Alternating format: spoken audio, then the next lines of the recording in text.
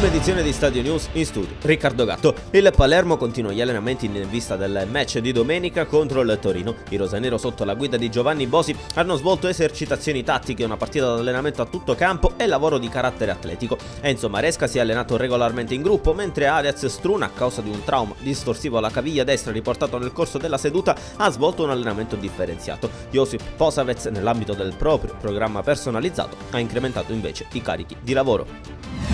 Sarà Angelo Cervellera di Taranto l'arbitro di Palermo Torino, il direttore di gara sarà coadiuvato dagli assistenti Riccardo Di Fiore de Aosta e Stefano Alassio di Imperio, il quarto ufficiale sarà invece Sergio Ranghetti di Chiari. Il presidente del Palermo Maurizio Zamparini ha commentato così la scelta di affidare la panchina al duo Bossi tedesco fino al termine della stagione. In questo momento si stanno scrivendo tante stupidaggini sulla nostra squadra, ha spiegato Zamparini, addirittura viene anche accostato il nome di Walter Novellino, non esiste proprio questa idea, anche se Walter è un mio amico e ci conosciamo da tanti anni. Conferma al 100% Bossi che avrà in tedesco un validissimo collaboratore. Questa coppia guiderà il Palermo fino al termine del campionato.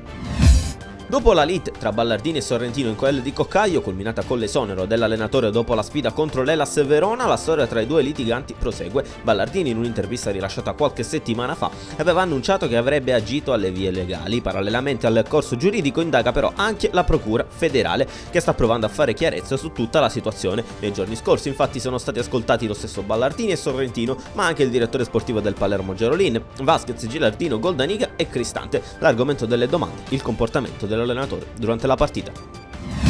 Intervistato da Stadio News 24, l'ex allenatore del Palermo Baros Schielotto saluta così i suoi ex tifosi e la città siciliana. Ascoltiamo le sue parole. Molte grazie allo tifosi di Palermo.